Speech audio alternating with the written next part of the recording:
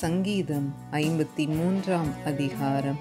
மகலாத் என்னும் வாத்தியத்தில் வாசிக்கப்படும்படி தாவீதினால் பாடப்பட்டு ராகத் தலைவனுக்கு ஒப்புவிக்கப்பட்ட மஸ்கீல் என்னும் சங்கீதம் முதலாம் வசனம்.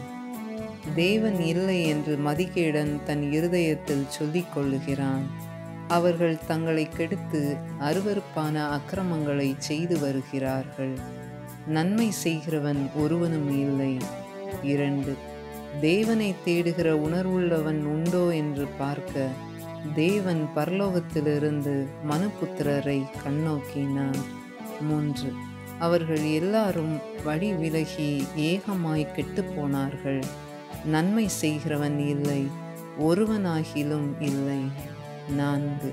அக்கிரமக்காரருக்கு அறிவு இல்லையா? அப்பத்தை பட்சிக்கிறது போல் என் ஜனத்தை பட்சிக்கிறார்களே. அவர்கள் தேவனை தொழுது கொள்ளுகிறதில்லை. ஐந்து. உனக்கு விரோதமாய் பாளையம் இறங்கினவனுடைய எலும்புகளை தேவன் சிதற பண்ணினபடியால் பயமில்லாத இடத்தில் மிகவும் பயந்தார்கள். தேவன் அவர்களை வெறுத்தபடியினால் நீ அவர்களை வெட்கப்படுத்தினாய். ஆறு.